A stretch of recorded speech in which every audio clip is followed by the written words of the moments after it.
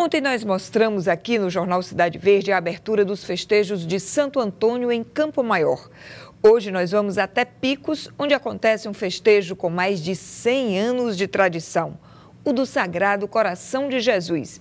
Quem tem os detalhes ao vivo é a repórter Andréia Monteiro e é com ela que a gente fala a partir de agora. Boa noite, Andréia.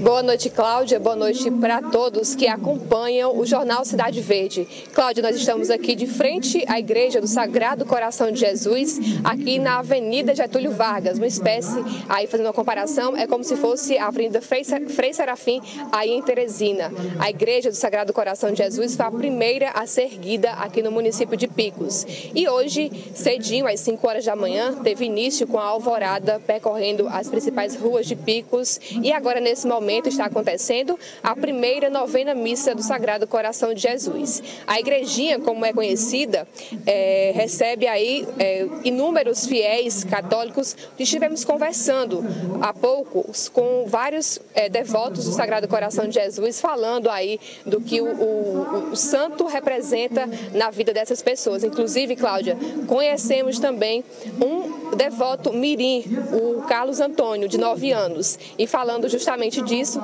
e que a mãe dele disse que já traz ele desde no ventre ainda, na barriga, já trazia ele para participar do festejo do Sagrado Coração de Jesus.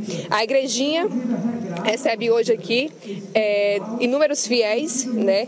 O mês de junho é bastante aguardado pelos devotos do Sagrado Coração de Jesus. É, neste momento, acontecendo aí a primeira novena missa. Durante todo o mês de junho acontecerá missas é, em, em devoção ao Sagrado Coração de Jesus. Também haverá a recitação do texto às 18 horas, todos os dias, em seguida as novenas.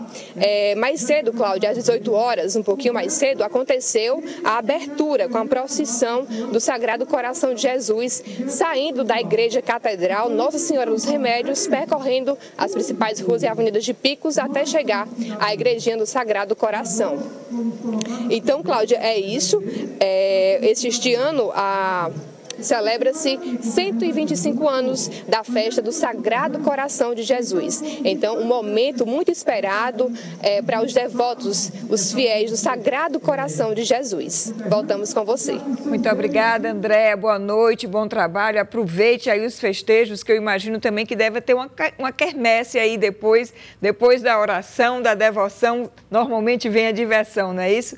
Boa noite, obrigada para você. Olha só, 125 anos de de tradição religiosa.